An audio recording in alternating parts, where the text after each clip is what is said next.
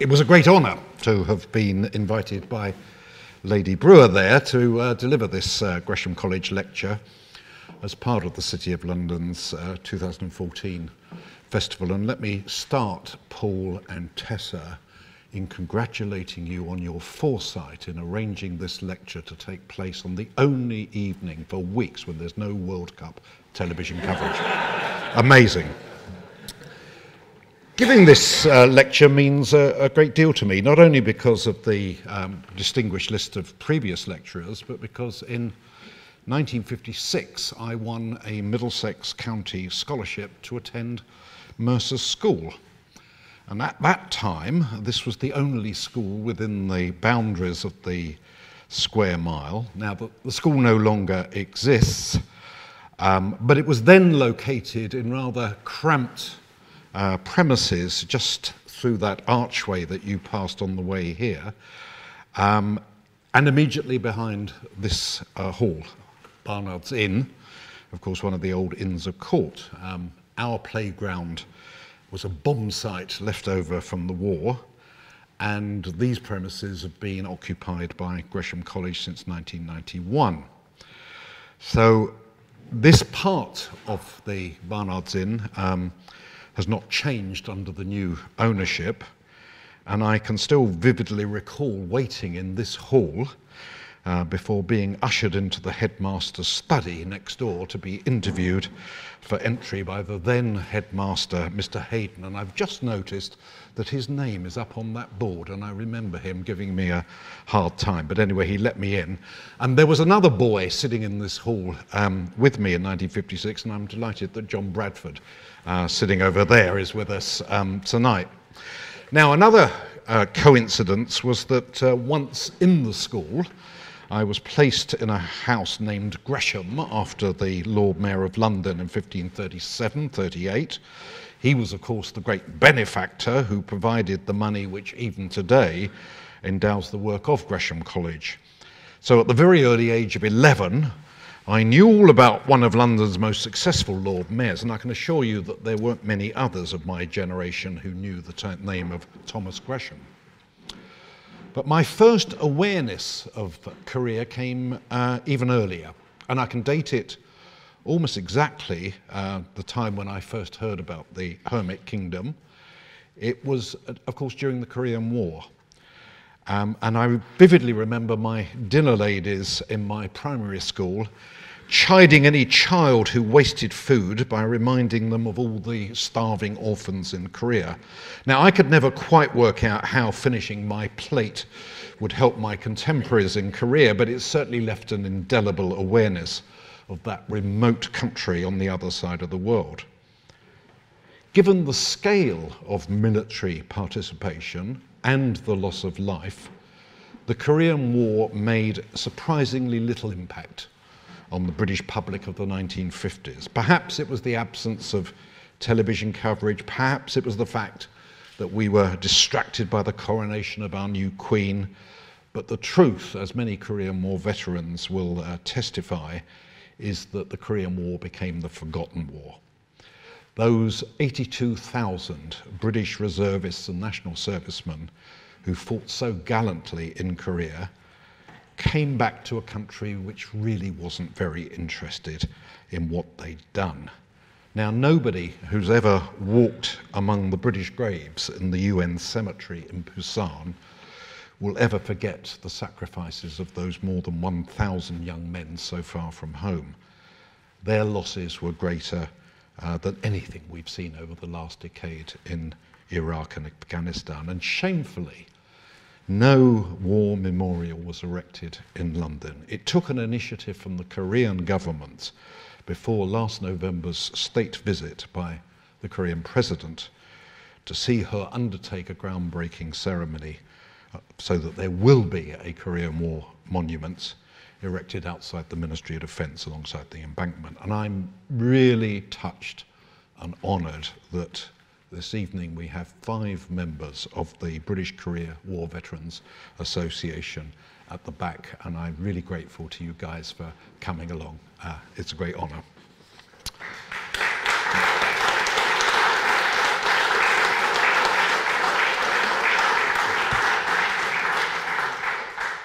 It's difficult, of course, for today's youngsters to realise just how remote East Asia was to my generation.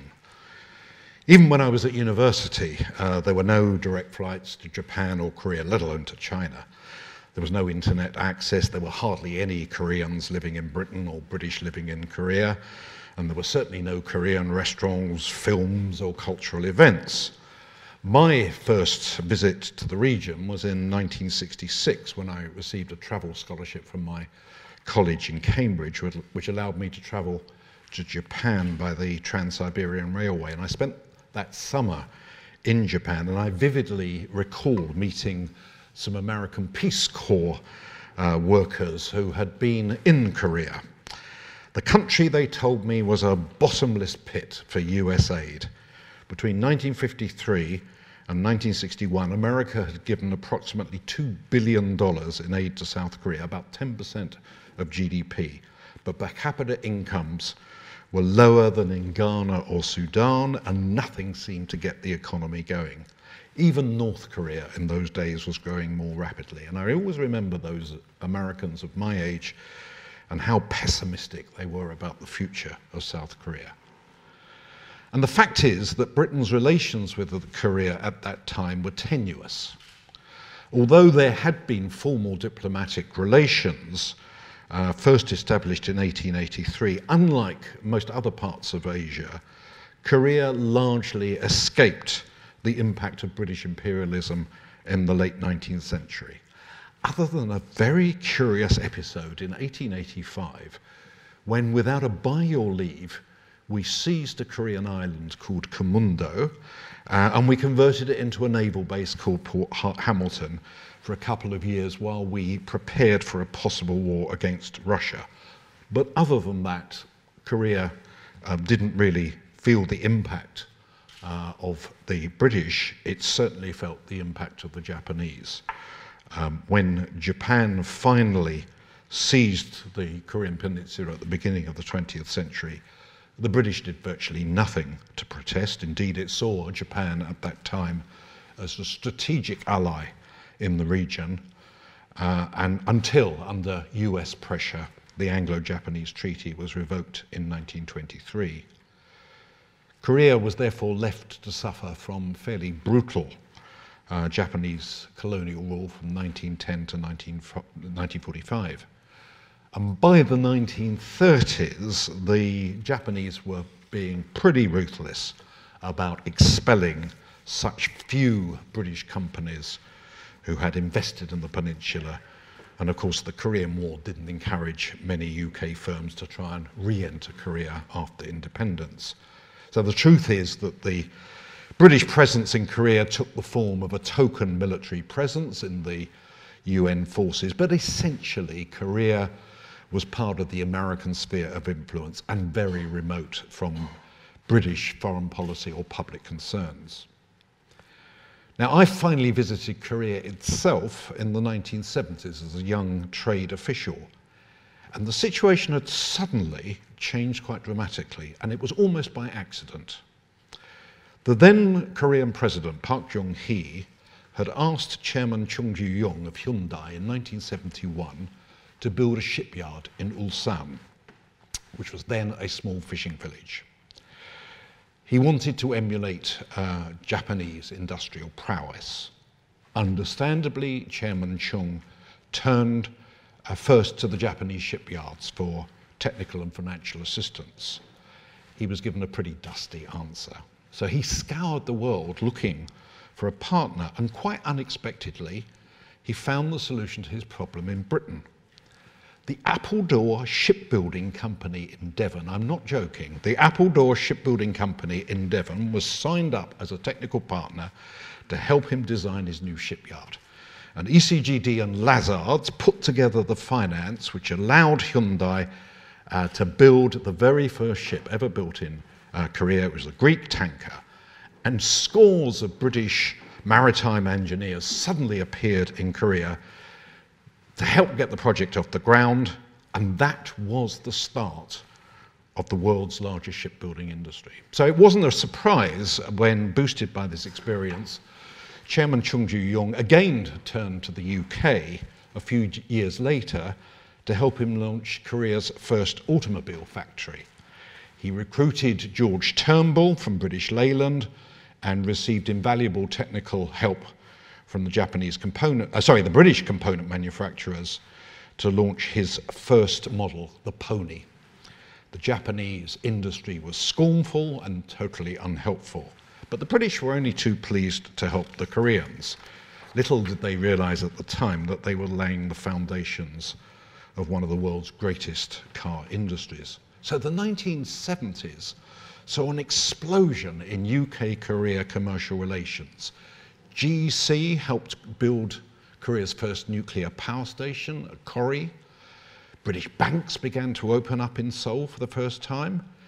Um, large numbers of British firms began to visit the market. We created a UK Korea Economic Cooperation Council, and British ministers, again for the first time, began to visit Seoul on a regular basis. And that, for me, is the real turning point in Britain's bilateral relations with Korea. They were no longer solely focused on political and military terms. For the first time, large numbers of ordinary British people began to conduct business in Korea, and as the miracle of the Han gathered pace, so the numbers of Korean students, academics, and business representatives coming to Britain began to grow to serious numbers. Now, Chairman Chung of Hyundai and his brother Chung Se-yong became very close and extraordinarily generous friends of Britain and British business delegations to Seoul were frequently entertained uh, at lavish Kiseng parties, Kiseng being roughly the Korean equivalent of a Japanese geisha. And as you can imagine, these events were extremely popular and much looked forward to. Until in 1978, the then Secretary of State for Trade, leading the British business delegation, suddenly got up in the middle of the dinner and walked out with his private secretary. Now, to this day, nobody knows exactly what his Kiseng girl had done to him, but the embarrassment on both sides, you can imagine, was mortifying.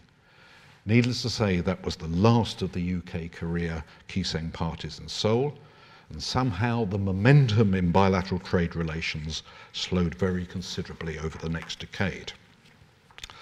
By the time I returned to Korea again in 1994 as British ambassador, the state of the Korean economy had been totally transformed. By then, Korea had joined the rest of the world. Years of double digit economic growth had replaced those refugee squatter camps I recall from my first visit to Seoul with a vibrant modern city and a new generation of young South Koreans who had only the most distant memories of what their parents had got through. By the time I got there, two thirds of Koreans had been born after the Korean War. And my very first VIP visitor from London was appropriately given tonight, um, the then Lord Mayor of London, Sir Paul Newall. Now, he threw himself into a strenuous programme of calls and visits, and he subsequently became a, a, a long term friend and supporter of Korea in this country. But for me, the most important meeting uh, he held was with the Mayor of Seoul who told us that the city would be celebrating the 800th anniversary of its foundation the following year, and that triggered an idea. The next year, we organised a major programme of promotional events designed to promote British business, education, tourism, and science. We called it Britain Salutes Seoul 800. I promise you it sounded much better in Korean. Michael Heseltine came out to launch the programme. It was an enormous success. And that, in some ways, symbolized um, my stint as an ambassador. I was a very lucky ambassador. Um, my period coincided with a period of unrelenting economic growth and prosperity. The number of Korean students studying at Korean universities in my three and a half years quadrupled. The volume of bilateral trade more than doubled. University and research links exploded all the major chaebol, the conglomerates of Korea, announced major direct investments in the UK. British Airways opened up direct flights to Seoul. Marks and Spencer's opened up in Korea. In my first year in Seoul, I had one visiting British minister. By my last year, I received 14 British ministers, including the then Prime Minister, John Major. We were on a roll. And within six months of my departure, it all came crashing to a halt. The Asian, I left in the spring of 97. In the autumn of 97, uh, the Asian financial crisis started. And it was a traumatic experience for Korea and the Koreans. Middle class families who'd sent their children in increasing numbers to British boarding schools and universities had to pull them back home in humiliation and distress. Several of these major Korean investments we thought we'd secured, such as the LG's proposed plants in South Wales, simply vanished. Business dried up as the Korean economy faced bankruptcy. By that time, I'd returned to London, but I followed with enormous interest and I have to say admiration the way in which the Korean authorities and people responded to what they quite inaccurately still call the IMF crisis.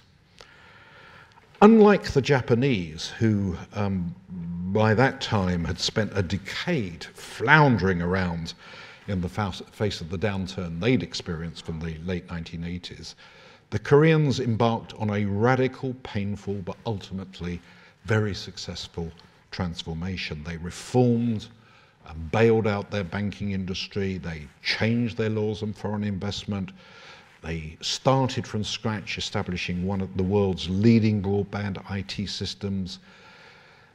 There were rapid changes in um, economic policy, um, and as Korea um, joined the OECD at about the same time, there was a steady erosion of the protectionism which had marked Korea in the earlier periods. And then at the height of the Asian financial crisis, to the amazement of the Koreans, the Queen paid a state visit.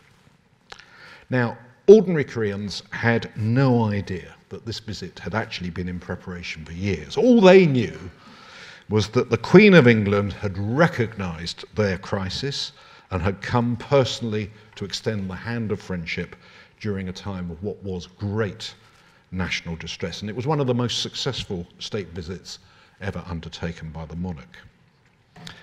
My own visits to uh, Korea resumed after I left the Foreign Office in 2004 and I joined Standard Chartered Bank where I work now. And again, by one of those coincidences, within a few months of arriving in the bank, we made the largest ever investment in Korea by any British company. We acquired Korea First Bank, which had run into difficulties during the Asian financial crisis, and we suddenly found ourselves running uh, one of Korea's largest domestic banks. I was lucky enough to be appointed to the board of that bank in Korea, and that gave me an excuse to go back to visiting the country, what, probably half a dozen times a year.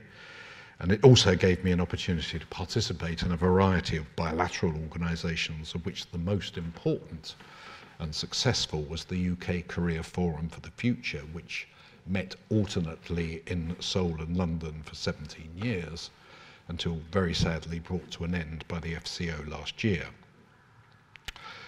Over the last decade, the most important development in bilateral relations has probably been the conclusion of the EU-Korea Free Trade Agreement in 2011, an agreement that certainly my bank and the City of London generally lobbied very hard uh, to, to see signed and implemented. And that agreement uh, has virtually eliminated most of the formal barriers to trading goods perhaps for the City of London more important, it has opened up the Korean market to a range of professional services. For example, for the legal profession in Britain now can, uh, can operate in Korea in a way that it couldn't in the past.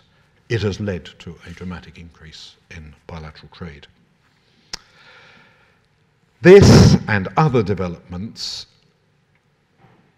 have changed bilateral relations between Korea and Britain quite dramatically. Um, compared to the period from 1970 to the Asian financial crisis, in that earlier period, Korea was enjoying rapid economic growth largely because it was in the catch up phase of economic development.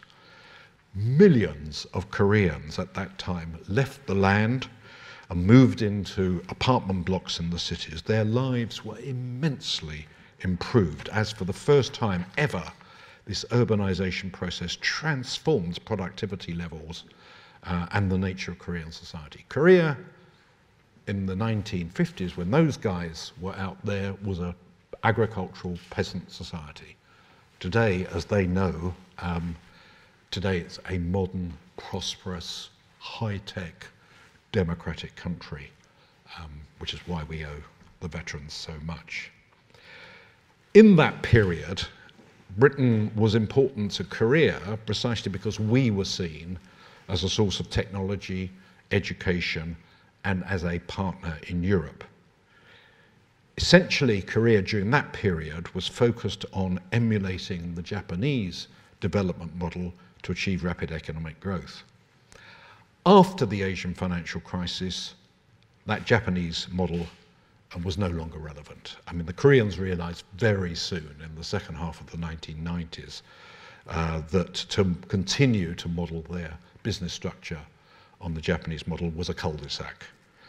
Korean firms could only prosper if they moved towards Anglo-Saxon type capitalism, if they became truly global players, a process that President Kim Young-sam described as Segyehwa, a, a form of a Korean expression for globalization.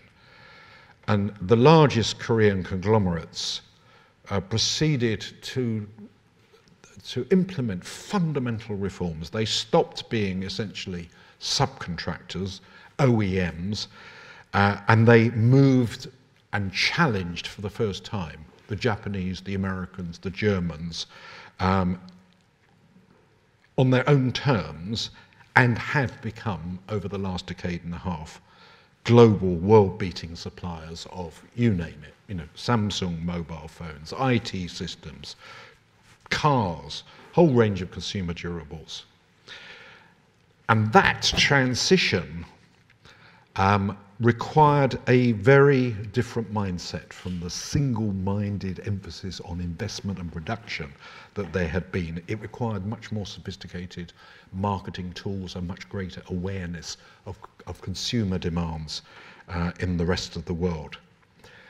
But it also created some problems within Korean society because although Korea has made a, a very, very successful transformation, it has also seen within its society um, some increasing stresses.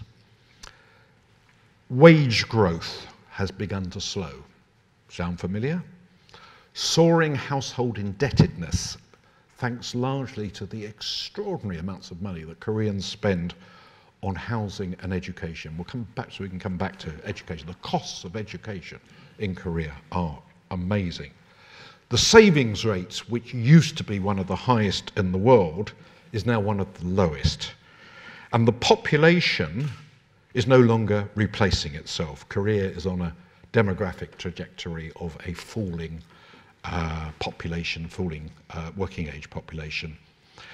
And all these factors um, mean that although viewed from the outside, Korea's continued to be a very successful economy, for many people inside the country, there's a sense of growing inequality, failing consumption growth, and some lack of confidence in the economic, social, and political models um, which had served Korea so well in the past. And that growing domestic self criticism manifested itself most sharply this year in the aftermath of the tragedy on the 16th of April, uh, when the ferry Sewol sank with 476 mainly young people on board. Now, that disaster, and it's a disaster by any standard, but what was interesting about it was that it na- led to a national bout of angry soul searching, not just targeted on the captain and his crew, who are now before a court in Seoul, not just for the government authorities, but for the whole nation. What kind of country is this, the Korean national media demanded. And many foreigners, um, deeply impressed by Korea's economic and technological progress, were quite taken aback by this fierce reaction. But to many Koreans, particularly the youngsters, the sinking of the Sewol was a symbol of a society marked by inequality, growing social divisions, an unrelenting pressure to achieve success in what is one of the most challenging educational systems in the world. And it has reinforced a populist backlash which was already evident in Korea in the run up to the last presidential election.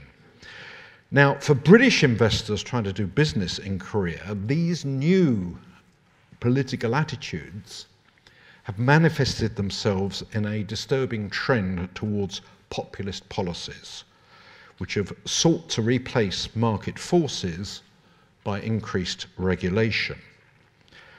As fast as the economy discarded the old protectionist trade policies that marked the early stage of industrialization, so they have appeared to be replaced by increasing government intervention in the way that firms can manage their businesses.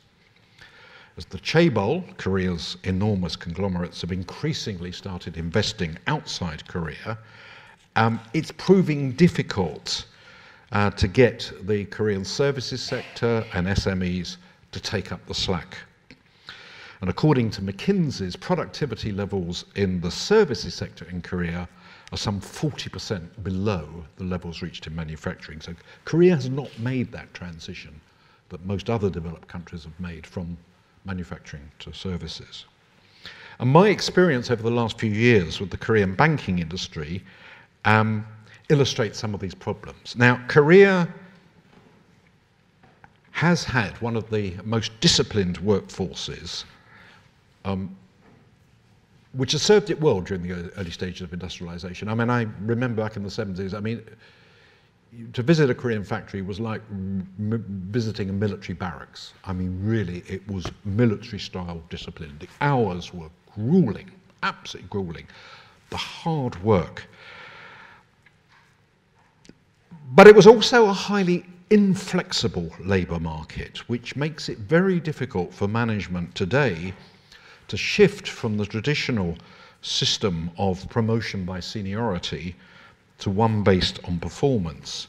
Now, my bank, Standard Chartered, operates in um, about 70 different markets around the world. The only one over the last decade in which we've had to face a nine week strike by unions opposed to change uh, was in Korea. And we have seen the growing cost of regulatory intervention in the financial services sector in Korea. We've seen rising loan impairment, that is, people not paying their debts, aided and encouraged by government policy. Um, loan impairment in both consumer and corporate lending, which has led to a return on equity in the Korean banking sector as a whole, which is not only amongst the lowest in Asia, but below the cost of capital. And by treating the banking industry as if it were a utility rather than as a potentially profitable growth sector able to generate jobs, Korea's regulators have left its banking industry um, today accounting for only 5% of GDP. Now you compare that with 10% in Taiwan, 15% in Singapore, and 26% in Hong Kong, you realize how far Korea is um, behind. And I'm afraid, not surprisingly, there's been a growing exodus from the market of some of the major British financial institutions who had invested in uh, Korea over the last few decades. HSBC is closing its relatively small but nevertheless significant consumer banking business. My own bank was uh, forced to take a billion dollar write off last summer, and we've just sold off our small savings bank and capital companies in Korea. Aviva have sold their 47% of their joint venture to a private equity fund. ING Life Insurance has pulled out of the market. This is a terrible blow, a terrible blow to the bilateral relationship. There were, not so many years ago, hopes that Seoul might emerge as a global financial centre and that the City of London could play a major role in that evolution. But I'm afraid those hopes are fading. But despite these serious flaws, Korea still has significant fundamental strengths. Its education levels are amongst the highest in the world. Its people still work extraordinarily hard. Gender discrimination and Confucian attitudes in the workplace are slowly eroding. And when persuaded that change is essential in the national interest, Korean politicians, unlike the Japanese, are capable of pushing through fundamental reforms in a very short order. Indeed, I think it can be argued that disasters like the ferry sinking, and there were similar disasters when I was in Korea. I remember a bridge over the River Han collapsing in the rush hour, and I remember a de department store, a, a, sloppily, poorly constructed department store uh, collapsing. So, you know, the ferry disaster is not a first in Korea. But I don't think that reflects the political ills within the society so much as the characteristics of the Korean personality, which in other contexts we admire. Once Koreans make up their mind to do something, they will work relentlessly to achieve their target in the shortest possible time. The Koreans themselves have got a phrase to describe this phenomenon, bali bali, which means roughly cutting every corner to get things done as soon as possible. And that drive and work ethic um, has transformed a country which has got no natural resources into a world leader and a range of modern technologies. And the Koreans can no more change those national characteristics and personality traits than the British can stop their constant self deprecation. It's, it's in the psyche. So I remain optimistic about Korea. Unlike some of its neighbours, it has a vibrant democracy, a can do spirit, and a political system that doesn't prevaricate endlessly. Today, Korea is genuinely a global economic power, and the potential is there uh, in a whole range of sectors. There are opportunities to be seized, particularly in services, health, financial, professional services, tourism. And whenever my optimism about Korea, and I really am optimistic about Korea, whenever it falters when we face another problem in Korea, and I think, oh God, you know what we can do about this, I just think of their neighbours. I just think of North Korea. Because one constant feature of Britain's relations with Korea has been that the UK has remained a resolute supporter of the Republic of Korea, the South Korea, as it deals with the bellicosity of its neighbour from the north. We really do share a deep concern about the appalling human rights record of the DPRK. And we look, along with our allies, for the complete, verifiable, and irreversible denuclearization of North Korea.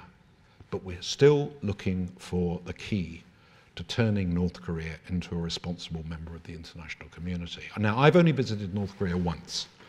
I went there in March 2010, and like all foreign visitors to that country, my visit was closely monitored and controlled by the North Korean authorities. And like all visitors, I came away baffled by the most authoritarian regime in the world.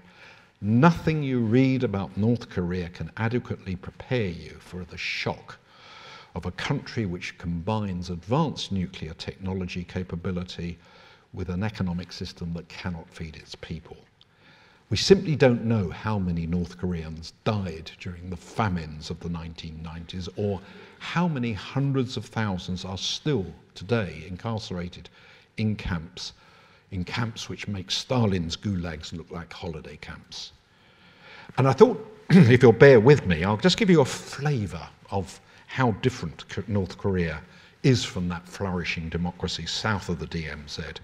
Uh, and if I may, I'd just like to read you a couple of extracts from some notes I wrote immediately after I got back to London about the impressions I had formed in March 2010.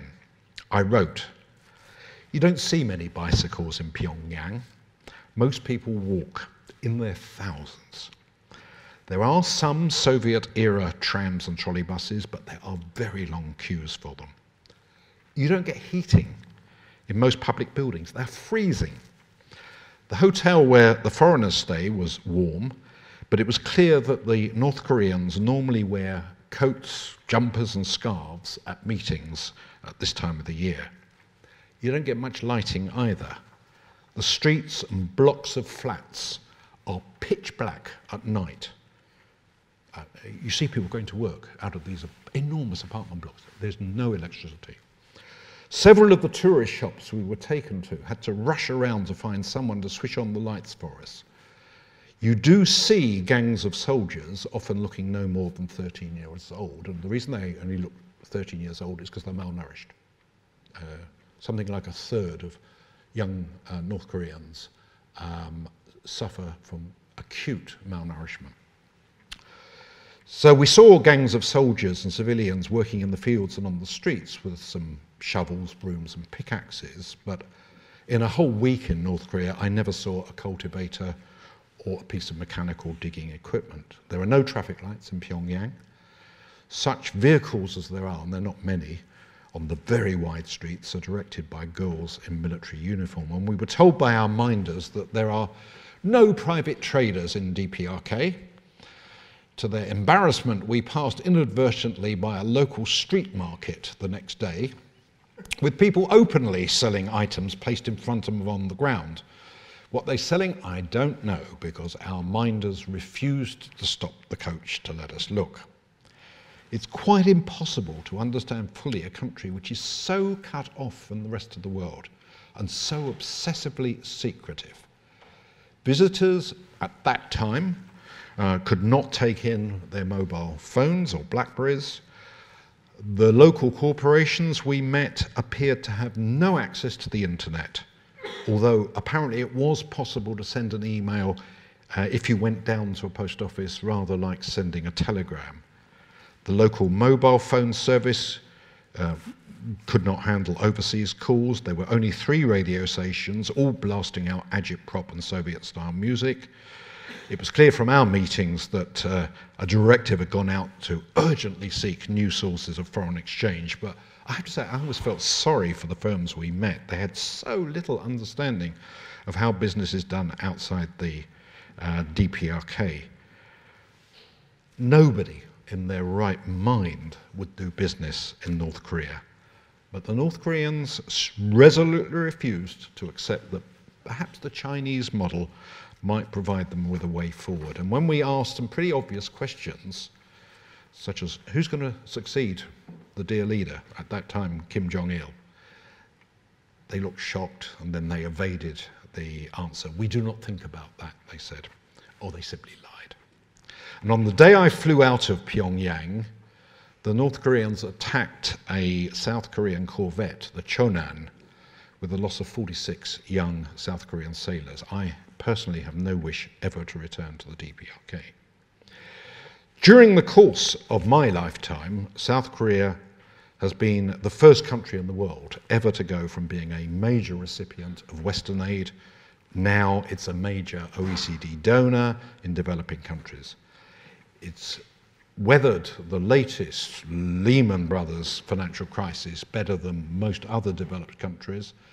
And as I said before, it's now a world leader in a host of high tech industries. Its universities pour out a stream of brilliant scientists and engineers. And as you know, the heads of both the United Nations and the World Bank were both born in South Korea. K pop, other Korean cultural offerings have swept Asia and arrived very firmly on the shores of this country, not least uh, in the context of the City of London Festival this year. It's now over 60 years since my dinner ladies told me to clear my plate. And thank God, British and Korean links are immeasurably, immeasurably closer than they ever were before. Today, we work closely with the Koreans on a whole range of policy issues climate change, cybersecurity, overseas development, which we wouldn't even thought about even 10 years ago. And our bilateral trade relationship thanks in part to that free trade agreement, has grown now to over $7 billion a year in goods alone. And I'm absolutely delighted that today there are 17,000 young Koreans studying in Britain and about 1,000 British students who go to Korea, Korean universities each year. Korean art and culture are now an important part of the London scene, and those of you who've been down there know that New Malden has developed into a vibrant outpost of the Korean diaspora. Last November, President Park made a state visit to London, um, which, for those of you lucky enough to be there, included a magnificent dinner given by the City Corporation in her honour at the Guildhall. And that visit was an indication of the way in which relations by the two countries have changed so deeply during the course of my lifetime. And looking back over the years, I think that's my abiding memory. It's of a relationship with Korea which has become immeasurably more rewarding, more balanced, more complex. We now look to Korea for the sort of technology, research, and economic partnership that they looked to us for in the 1970s. Over the next few years, Korea will host the Winter Olympics in 2018, and I have absolutely no doubt will continue to punch above its weight in international diplomacy. As I look back to my early contacts with Korea, I realized just how much our values have converged, how immensely more complicated our bilateral relations have become. But there's still a lot more to be done. I look forward to the day when British holidaymakers take vacations in Korea as often as they do in other Asian countries. I look forward to the day when British journalists extend their coverage of Korea beyond the latest North Korean saber rattling. I look forward to the day when the Koreans stop thinking the British are conservative gentlemen who live in a perpetual fog. That'll be the day. So, what will the Korean British relationship look like in another 60 years? I, of course, don't know, but I hope our children and our grandchildren get as much pleasure out of the growing links between the two countries at opposite ends of the Eurasian landmass as I've done. One last point. Our two countries have one more thing in common. By last night, both England and South Korea had been ousted from the World Cup without having won a single game in the group stages. I think we should look to each other for solace, sympathy, and comfort at a time of mutual grief. Thank you very much.